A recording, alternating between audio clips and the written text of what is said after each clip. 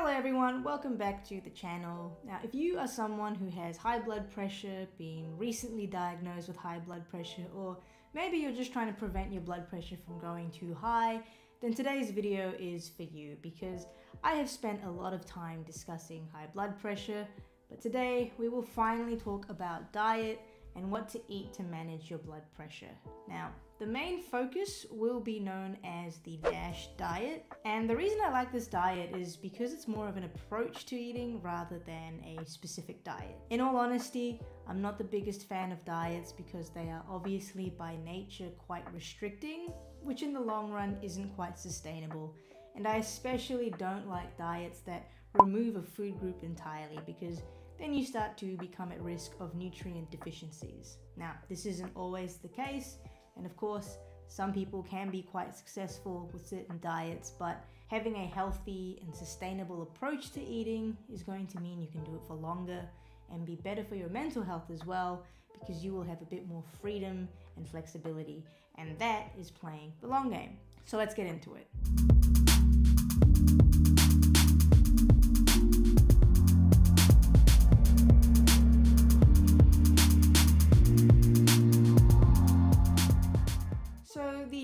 Diet stands for Dietary Approaches to Manage Hypertension, and as the name suggests, it's a plan to help prevent and manage high blood pressure. The good thing about the DASH diet is that it's clinically recognized, which means that there is a general acceptance by health professionals that this is the best approach to eating if you're trying to manage high blood pressure.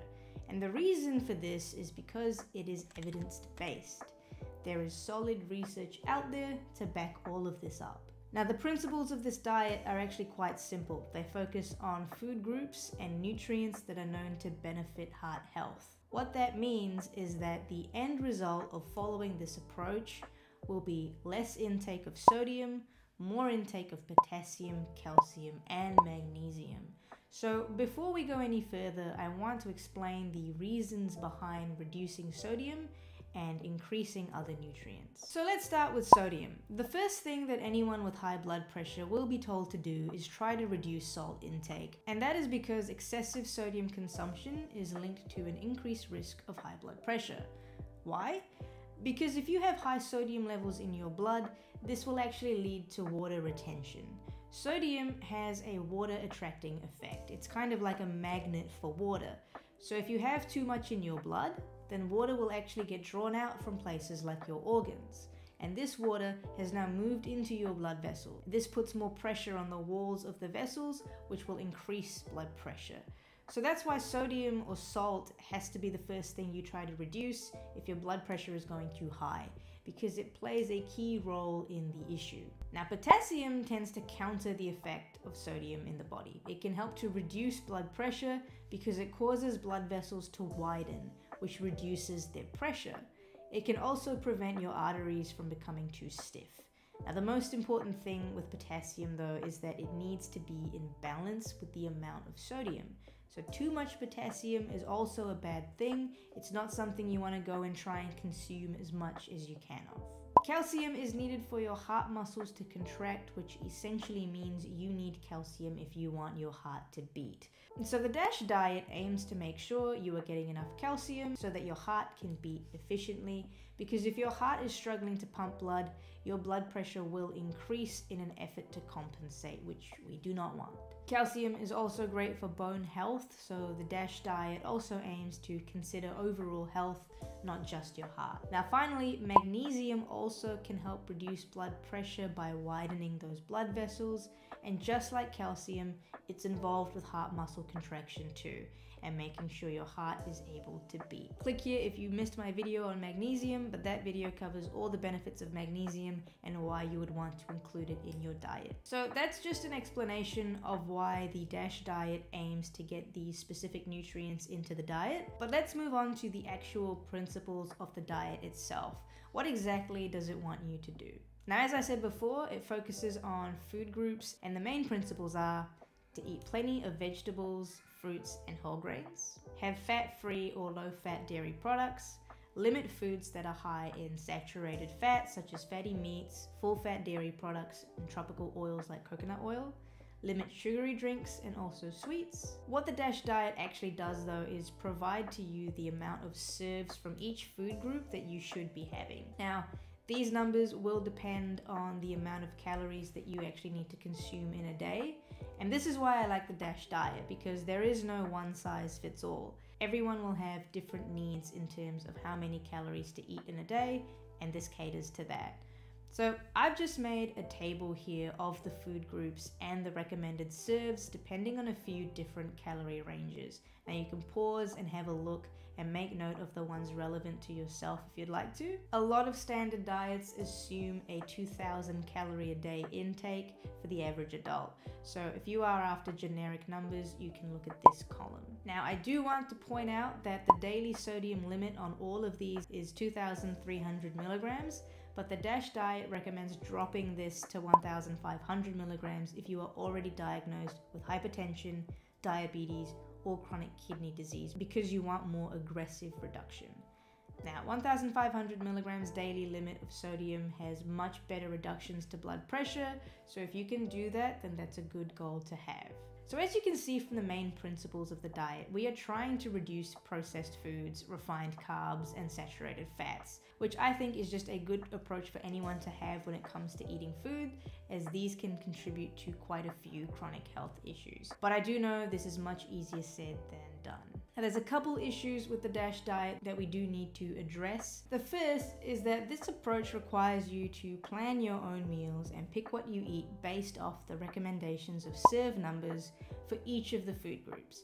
So it's up to you to put this into action in a way. Now, that is not an easy thing to do, especially if you are someone who is not used to meal planning or if you don't have too much nutrition knowledge. The best way to approach this is probably to get some help from a professional like a nutritionist or a dietitian. They will be able to get you started and offer some guidance. Now, the National Heart, Lung and Blood Institute website actually has quite a few resources for people to help with this issue as well.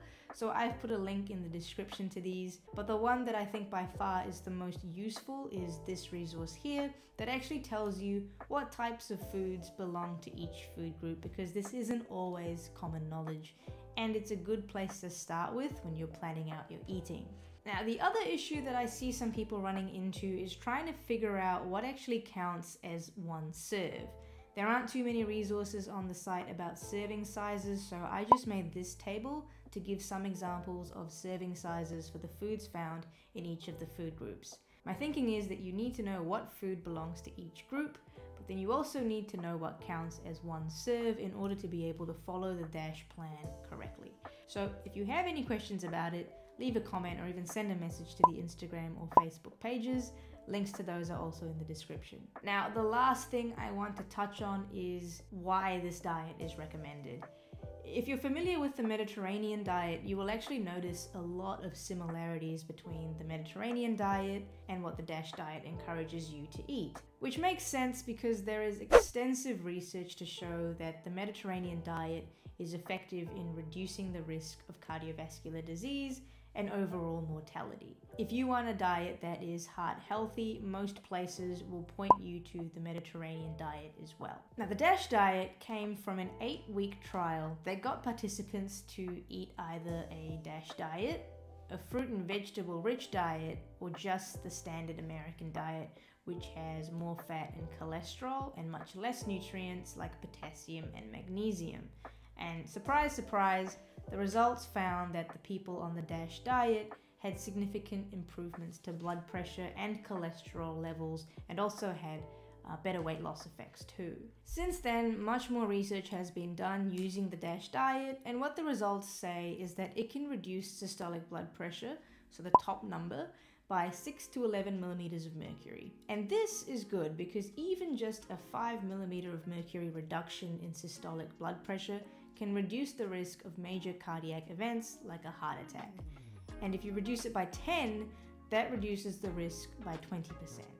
And this would all be just from changing the way that you eat. It's not including any changes to exercise, it's not with medications either. You can achieve this just from making some changes to the way that you eat.